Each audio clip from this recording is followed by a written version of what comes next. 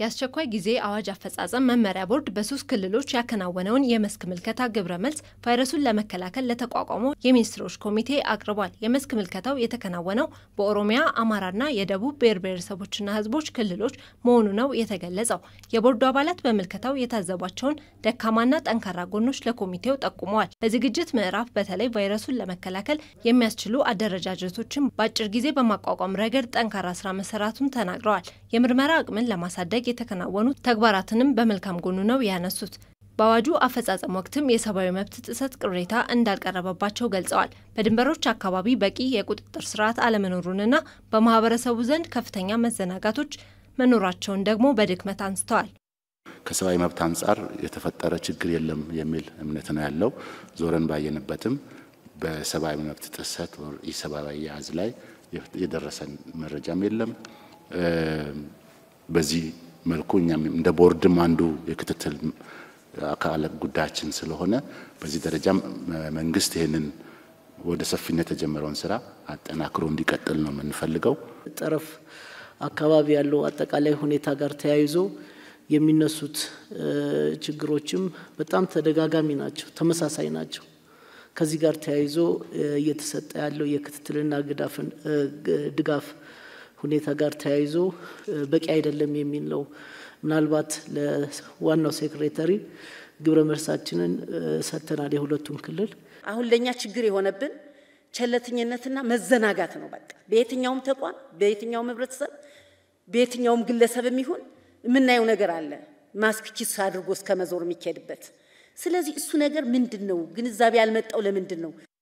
የስራ ላይ ደህንነት መጠበቂያ ቁሳቁሶች እጥረት መኖሩንም በመስክ ምልከታቸው መገንዘባቸውን ተናግረዋል። የጤና ሚኒስትሯ ዶክተር ሊያ ታደሰ በበኩላቸው ባለፉት አምስት ወራት የግንዛቤ ማስጨበጫ ስራዎች በስፋት ሲከናወኑ መቆየታቸውን ነው የገለጹት። ነገር ግን በሚፈለገው ደረጃ የባህሪ ለውጥ ማምጣት አልቻልንም ብለዋል። ችግሩን ለመቅረፍ በያዝነው ነሐሴ ወር ተፈጻሚ የሚሆነው ማህበረሰብ አቀፍ ንቅናቄና ምርመራ ተግባራዊ መሆኑን ገልጸዋል። የንቅናቄ ስራው አመራሩ ጉዳዩን ቀዳሚ አጀንዳው በማድረግ እስከ ታችኛው መዋቅር ድረስ እንዲሰራ እንደሚያግዝም ነው የተናገሩት።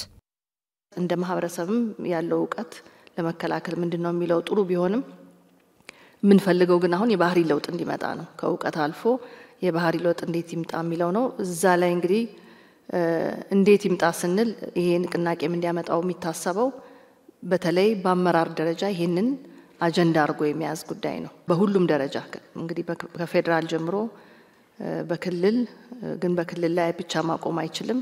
በአብዛኛው አሁን ይህንን አጀንዳ አድርጎ የመምራት ስራ በፌዴራል በክልልም ጥሩ የሚባል ቢሆንም እስከ ዞን እስከ ወረዳ እስከ ተቋማት መውረድ ያለበት ነው።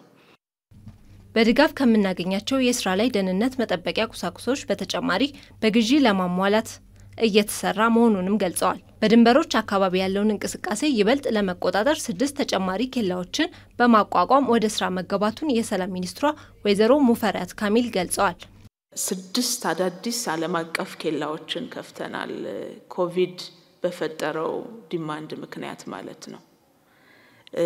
አንደኛው ቀደም ሲል የነበረ አገልግሎት የማይሰጥ የደቡብ ኦሞ የተነሳው ማለት ነው የኛንጋቶም አካባቢ የተነሳው ስራ ላይ ያልዋለ የነበረ በአዲስ መልክ ተደራጅቶ ወደ ስራ እንዲገባ ተደርጓል። አምስት ደግሞ አዳዲስ ፕላን ውስጥ ያልነበሩ ግን አሁን ያለውን emergency ምላሽ ለመስጠት ታሳቢ ተደርጎ እነዚህ ኬላዎች ተከፍተዋል። እነዚህን ኬላዎች መክፈት የሚጠቅመው በድንበር በኩል የሚመጡ ዜጎችን ለመለየትና ተገቢውን ምርመራ አግኝተው መጨረስ ያለባቸውን የቆይታ ጊዜ ጨርሰው ወደ ህብረተሰቡ እንዲቀላቀሉ ለማድረግ ራሱን የቻለ እገዛ የሚያደርግ ስለሆነ በዚህ መልኩ ለመሄድ ተሞክሯል። ችግሩን በዘላቂነት ለመፍታትም ከክልሎች ጋር በቅርበት እንደሚሰራ ጠቅሰዋል። ምክትል ጠቅላይ ሚኒስትር ደመቀ መኮንን በኢትዮጵያ ቫይረሱ ሲከሰት ምንም አይነት አቅምና ልምድ እንዳልነበር አስታውሰው ነገር ግን በአጭር ጊዜ ውስጥ በተወሰደው እርምጃ ቫይረሱ የከፋ ጉዳት እንዳያድረስ ማድረግ ተችሏል ነው ያሉት። ከዚህ አንጻር የአስቸኳይ ጊዜ አዋጁ ፋይዳ ጉልህ መሆኑንም አብራርተዋል። አዋጁ ብዙ ጥቅም አስገኝቷል። በዚህ የወረርሽኝ ዘመን ብዙ ጥቅም አስገኝቷል።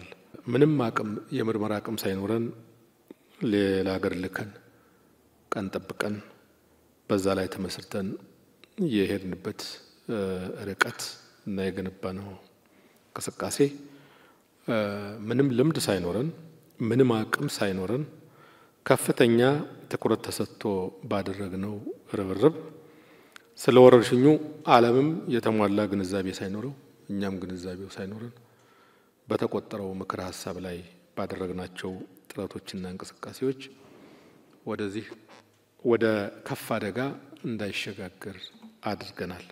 በተመዘገበው መልካም ውጤት ሳንዘናጋ አሁንም ዜጎቻችንን ከአደጋው መታደግ ይኖርብናል ነው ያሉት። በማህበረሰብ አቀፍ ንቅናቄ አማካኝነት በተሻለ ውጤት ወደ መጪው ዘመን ለመሸጋገር እንደሚሰራም ተናግረዋል። ከዚህ አንጻር ተቋማት ይበልጥ በቅንጅት እንዲሰሩም አሳስበዋል። የመጨረሻው የ2012 ዓመት በዘመቻ ተንቀሳቅሰን ለመጪው ዘመን የምናሻግረው በኮቪድ በከፍተኛ አደጋ የማይጋለጥ አገርና ማህበረሰብ ጤናችንን ነው የምናሻግረው።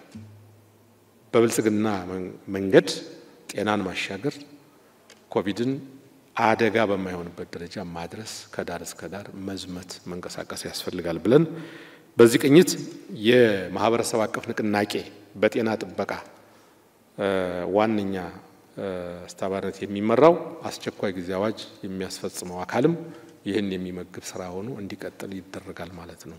እንደገና ይነቃነቅ፣ እንደገና አጀንዳ ይሆን፣ እንደገና አገራዊ ንቅናቄ ይሆን፣ ዳር እስከ ዳር የሚለውን የተከተለ አቅጣጫ ነው የያዝ ነው።